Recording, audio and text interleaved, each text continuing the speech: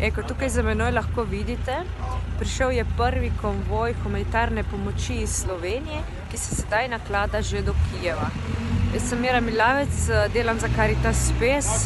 To je prvi konvoj, ki je prišel iz, iz Slovenije. Pomoč, po, po konkretni pomoči so um, zdravila, hrana in uh, hvala Bogu smo našli možnost, da se v bistvu sama zadeva lahko sedaj trenutno pelje v, v Kijev, kjer bodo lahko jutri ljudje že dobili to samo, samo pomoč.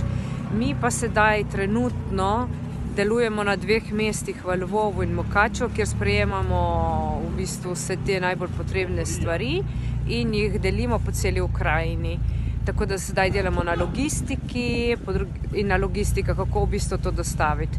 Uh, moram reči, da se zelo zahvaljujem za vse stvari, ki ste jih poslali, posebej iz Slovenije in uh, sedaj prihajajo tudi iz drugih držav in uh, prav to nam sedaj največ, je sedaj največ potrebno.